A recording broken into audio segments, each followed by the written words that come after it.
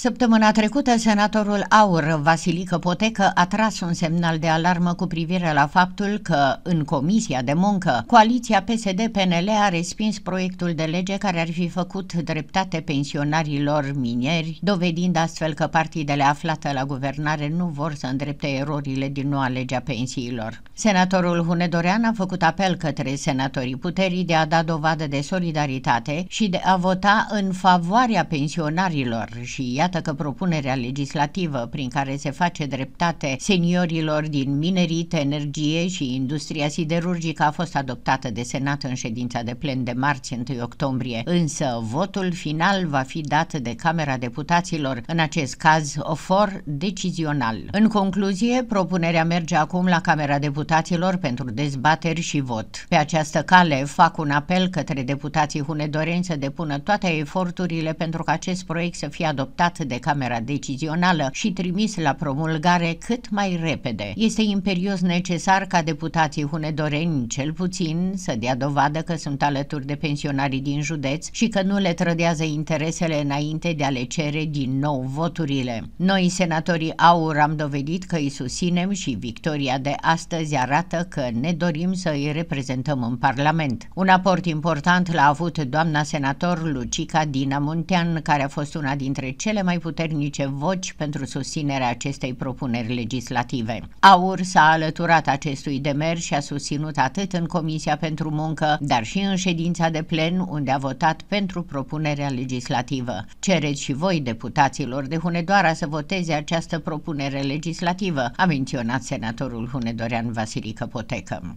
În cazul în care trece și de Camera Deputaților, se reinstituie principiul contributivității persoanelor care și-au pus în pericol sănătatea și viața pentru a contribui la bunăstarea țării, adică o contribuție mai mare înseamnă și o pensie pe măsură.